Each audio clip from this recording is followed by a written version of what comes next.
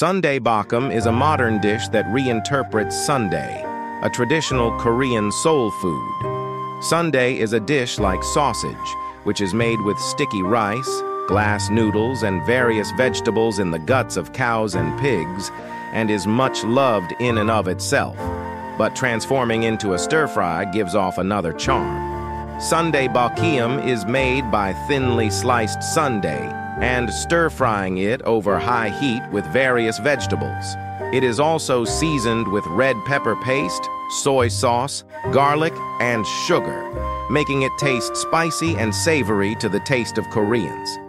The dish combines the soft texture of sundae with the crunchiness of vegetables to create a colorful mix of flavors.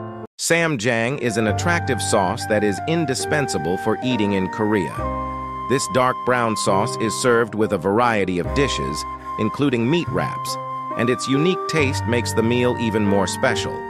It is based on soybean paste and red pepper paste, to which ingredients such as garlic, green onions, sugar, and sesame oil are added to create deep, complex flavors. This combination goes beyond just sauces to make ssamjang into magical ingredients that add layers of deep flavor to Korean food. Ssamjang, which harmonizes well with the fatty taste of the meat, reduces the greasy taste and balances the taste when eating it. Also, fresh vegetables that you eat with esamjang make your meals healthier.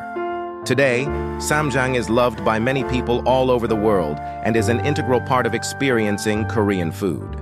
Japchae is a traditional Korean dish that was enjoyed by the royal family during the Joseon dynasty. The tasty dish is made with various vegetables, eggs, and sometimes meat, and is especially characterized by the use of glass noodles. The charm of japchae comes from its various ingredients. The glass noodles are made with sweet potato starch, which is good for your health, and various vegetables are rich in vitamins and minerals. It is seasoned with soy sauce, sugar, and sesame oil to create a deep and rich flavor that harmonizes tradition and modernity.